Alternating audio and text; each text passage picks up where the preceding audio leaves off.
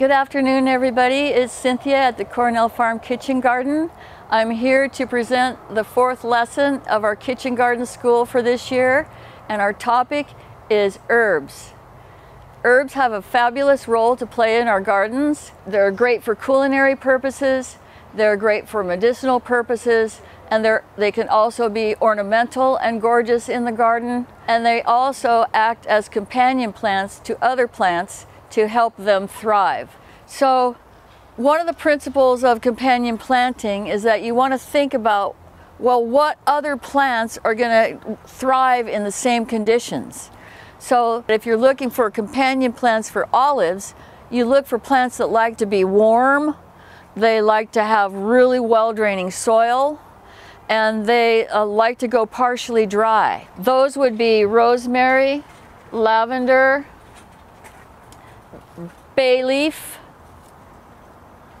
yarrow, dill, fennel, and it makes a very beautiful garden as well. The colors go really beautiful together. There are certain plants that are aromatic in a way that repels the bugs away from the plant. Now, I've, I've set all these companion plants out with the grape just to show you. Rosemary is a really good companion plant for a lot of other plants because it has uh, the ability to repel lots of different insects. And the same is true of garlic. Garlic, garlic has that same property. And also mint will is a good insect uh, repellent. And back here I have a row of scented geraniums which are like the perfect plant. It's got the fragrance that will deter some bugs and it's got the flowers that will bring in pollinators.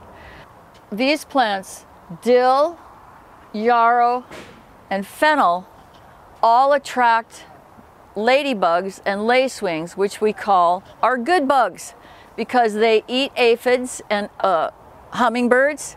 They love aphids. They eat millions of aphids and other things that aren't good for our plants. So that is part of what uh, companion planting is all about is to make your garden uh, more self-sufficient and biodiverse. So with that, I want to thank you for coming by the Kitchen Garden School today. I hope that we've helped you learn a few things about herbs and that you have a wonderful time planting some herbs in your garden this year. Thanks for watching.